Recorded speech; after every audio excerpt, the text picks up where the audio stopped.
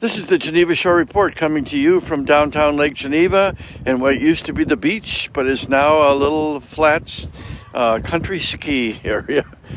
we are covered by about a half inch of snow. More on the way till about noon when it turns into rain, they tell me in the weather report. Anyway, we are here on. It is Tuesday morning, November 24th, 2020. I'm Lisa Otto. And, John Ge- and George Belushi Jr. Yeah, the Geneva Shore Report.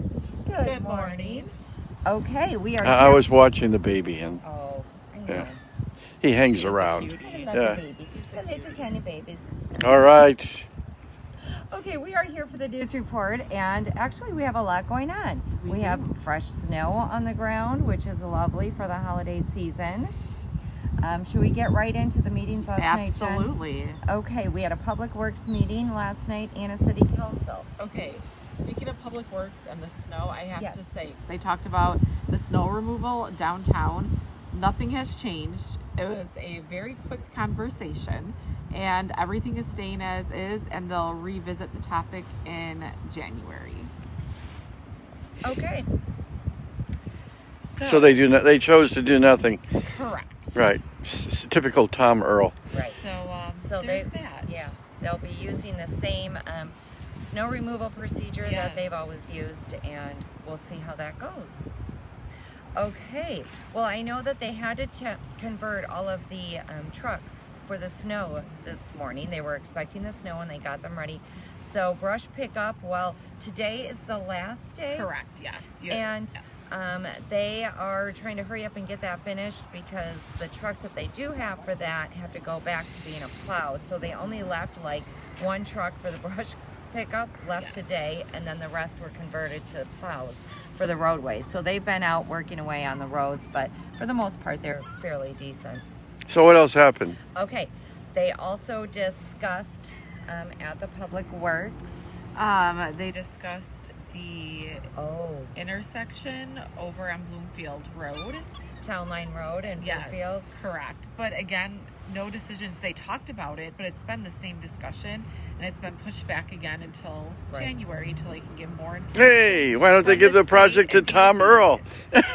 we can we can push everything back. Yes, there was a lot of that yesterday Yes. at the Public Works. Like there were no actual decisions made. I don't think on anything on the agenda. Everything's Right. been continued, Okay. and now with the holidays, it's continued till January. Right.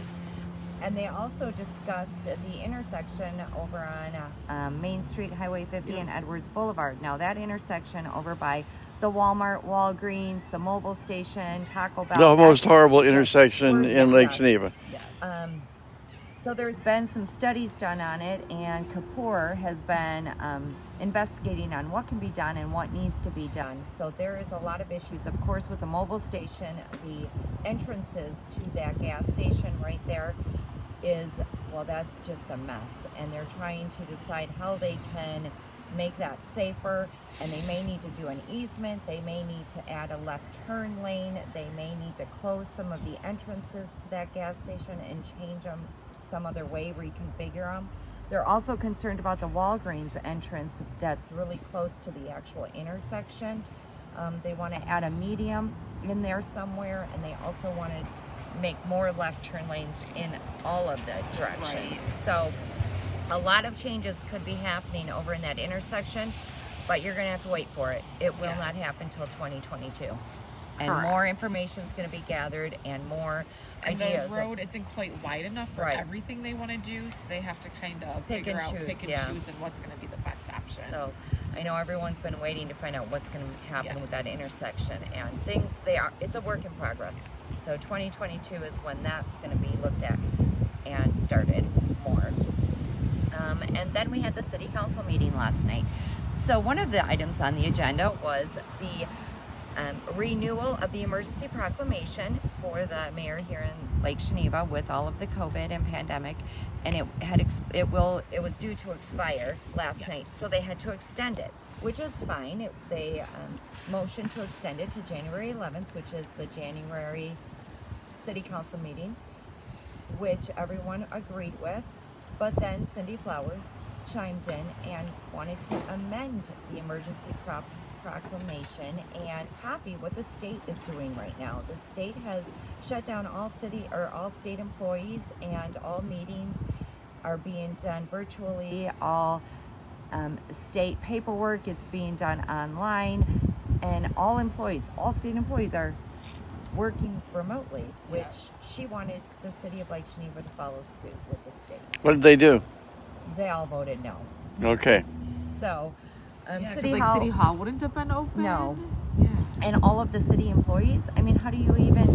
I mean, that that's a big that's a big thing. Well, they voted no, so They it doesn't no. matter. So Thank God. that did not go through. And um, they also talked about the, the second reading of the room tax rate increase, which did not go through. That will be extended till March. There was a lot of pushback from um, short term rental people here in Lake Geneva and hospitality, like Harbor Shores. There was a couple comments from them. They, yeah, there was two people for the increase in public comments, and the rest were all against it. With the COVID and the room tax rate increase really low right now, and just uh, um, occupancy rates really low right now. Yeah, they don't need to take Yeah, another they hit. Don't need to take another hit. So Right. that will not be happening right now. Um, however, there was um, like the mayor was really concerned about the tourism commission getting the extra money that that would accumulate, and I'm not quite sure why um, she spoke of grants needed to be given out. Well, if they don't have grant money, they don't have grant money. Like I don't see why that's. But anyway. Um, okay, and then they also talked about the Riviera complex and a lot the of decisions were I made. know. So, the first floor windows will be a, a shade of bronze. They do not know exactly what shade of brown or bronze it will be. They're going to pick from a couple different selections that MSI will bring in. So that's been decided. Final decision.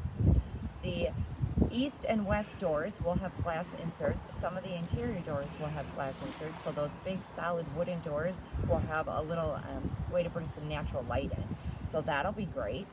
They also talked about the elevator. They are going to go with a brand new elevator, an Otis elevator, which has all the mechanics right in the shaft. So there will not be a need for a mechanical room, which will be wonderful. Yeah, and it's it- going to make a big Yeah. difference.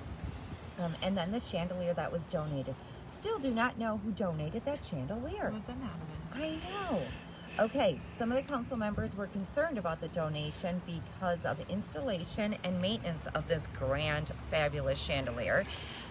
But then MSI chimed in and and let everyone know and reassured everyone that the the total cost of the Riviera renovations included a new chandelier and the installation of it. So they will actually save money because they will not have to use money for a new chandelier. They have it. And um, installation was already in the the final cost. So it all worked It all out. worked out really well. And right now they have a little tiny disco ball yes, up there in the it is grand so, ballroom. like Very odd. inappropriate Yes, for the chandelier that. is much more. right. And I believe the chandelier is like eight foot across. It looks. Yeah, the dimensions yes. are crazy. It is going to be spectacular up there. So, a lot of final decisions were made, and work's going to start. They need to be done by May 15th because there's a ton of events in May. Well, actually, nine. I believe it's nine. That's which is a lot. Good amount. So they need to get done by May um, 15th in order to accommodate all of the, um, upcoming event. up, yeah, upcoming events. Everybody's sort of gambling that the vaccine will be broadly uh, placed around the nation by then, huh? Or given to everyone. Yeah. Yeah. So, But anyway, okay. I think that's it. Is that That's it? it. Okay, we're gonna wrap this up. We probably have more to share, but we will do that later. No today. kidding. Hi, Guisado, John Lopkowski. and George Bluchy Jr. and the Geneva Shore Report. Bye-bye. Bye.